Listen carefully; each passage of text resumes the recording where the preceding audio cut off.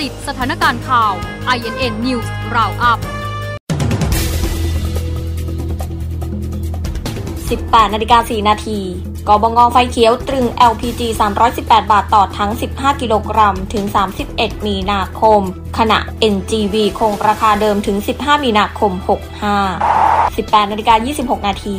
รัชดาเผยคอรมออนุมัติขยายเวลาโครงการสินเชื่อเพื่อพัฒนาเกษตรแปลงใหญ่ ปรับวงเงินสินเชื่อที่ยืดหยุ่นรองรับความต้องการเกษตรกร ขณะเห็นชอบหลักการร่างมาตรการสนับสนุนสตรีที่เป็นพลังสำคัญทางเศรษฐกิจ ขยายเวลาเปิดศูนย์เด็กเล็กข้าราชการชายลาดูลูกได้ 15 วันไม่ต้องติดต่อกันข้าราชการหญิงหลักคลอดเพิ่มได้ 18นาฬิกา32 นาที คุณหญิงสุดารัตน์แถลงเปิดศูนย์ประสานงานช่วยเหลือผู้ป่วยกลุ่มเสี่ยงโรคประจำตัว ผู้สูงอายุผู้พิการและผู้ป่วยติดเตียง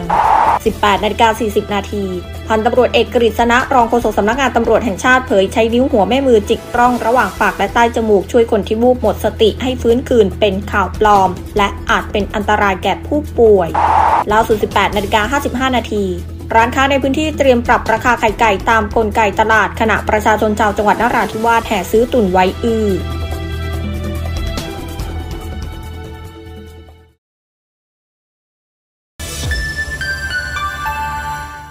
เกาะติดสถานการณ์ข่าว INN News Roundup